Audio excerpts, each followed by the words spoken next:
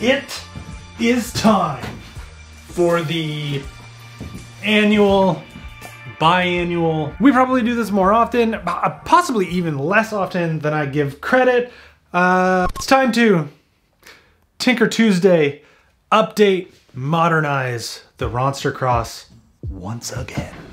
Now, I assume, I assume you're thinking, you know, geez, the Rawstercross, it's pretty, it's pretty modernized and upgraded as is. What more could you possibly want to do besides put like disc brakes on it? Well, we're not putting disc brakes on it, that's for sure. That'll probably never happen. But the few small things I can change, and most notably for today, is our handlebar shape. As of right now, we've got a very traditional road drop on here. These are 3T Ergosums, 42 centimeters wide. There is zero flare to these. They're like, they just drop, they just drop straight down. Pretty typical of any drop bar from three years ago, four years ago, five years ago. And one thing I've noticed by riding the bars that are on my LA Sprint, the Enve carbon ridiculous bars that are on there, they have like a little tiny bit of flare in there. I didn't love that at first. Now, when I jump onto bikes that don't have at least like five degrees to 10 degrees, I think, what do those Enve bars have?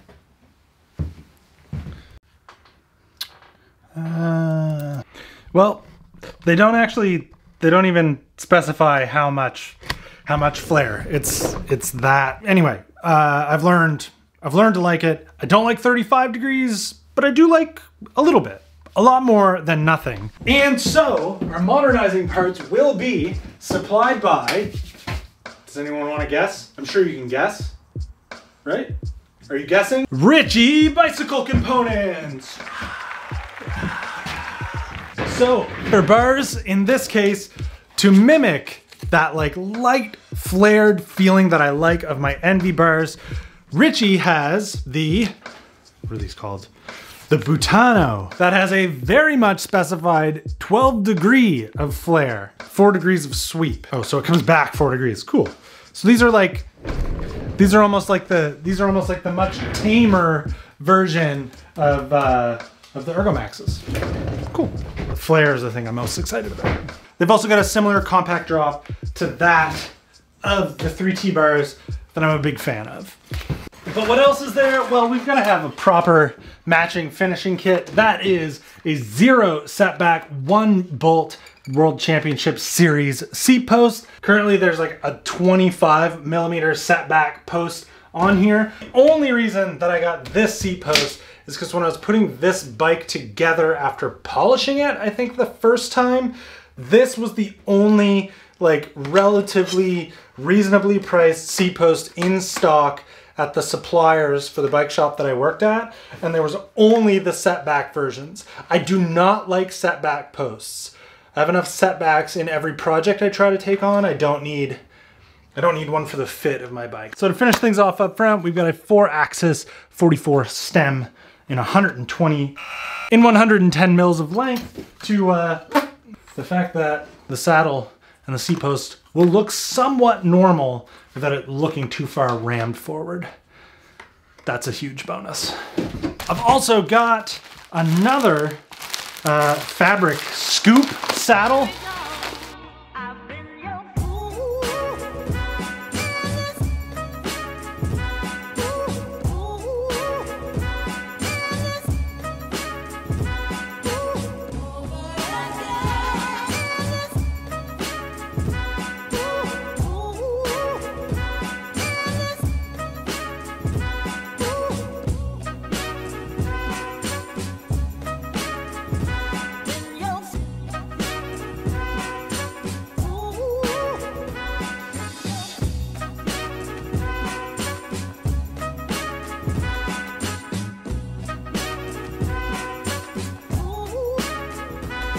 Well, I think it's kind of got to be said. I am not going to miss this Zipp Service Course stem.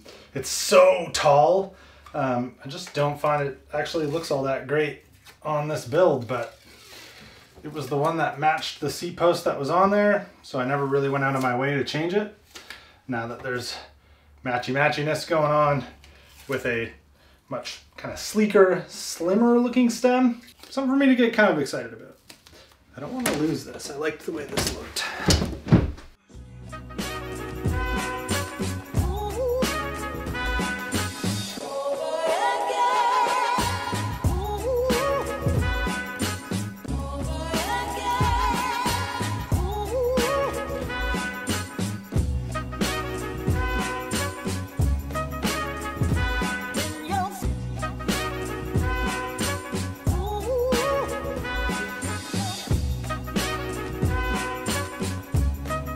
Had it at I've had it at this point for the last like 15 minutes. I've just been staring at it. I need to tape down the cables, but I just keep like turning around and being like, man, look.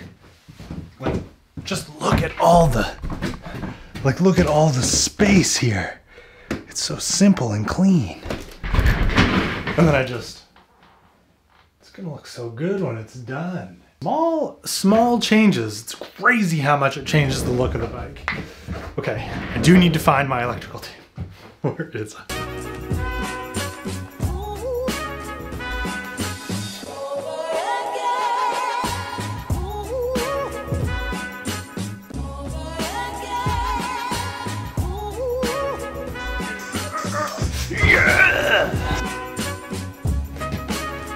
to thank the sponsors, you know, all the people who sponsor the channel through Patreon.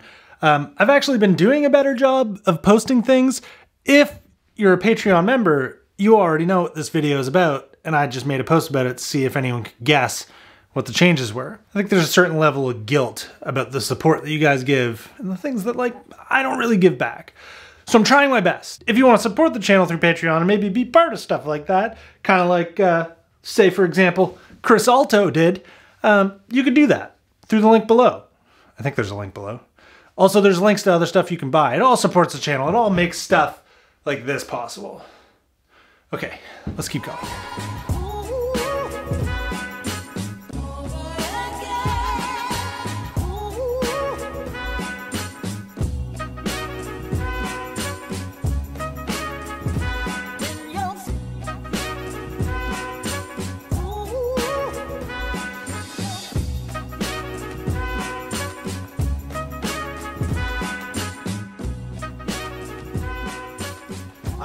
I'm loving the way this turned out. looks so good. There's just something about like the thickness of this stem, the chunkiness, like the way how chunky it looked, that kind of made the front end look a little like pot bellied, but also the setback, like the craziness, like this design versus. I mean, come on, there's no contest. I mean, if you're like me and, and vanity, just the way stuff looks is equally, possibly more important than anything. Like, just looks on its own is above all else. The single bolt Ritchey seat post, that is just, it's so good. Look at it. Good choices. The seat post is easily the thing I'm most excited about, then the stem, then the bars because it's just that feeling that I've now gotten used to. Oh yeah. Every so often, keeping the Rawstercross within modern times. Very, very important. So here's what this 2008 Tricross Sport looked like before versus it now. Very much the perks of keeping a bike around for a long time and being okay with spending money on it to get it to like this kind of point. Because I know there's a huge mentality where it's like, well, why would you spend that kind of money on that when you could just get a whole new bike? Because you could build something sick like this. Does it make sense? No, none of anything doing to bikes ever makes sense. Just get out of here with your rationalized thoughts. Go buy one of these seat posts, make your bike look better. Okay. Cause you don't know when you're gonna go. So don't take this shit set. You better have some fun and kind of other.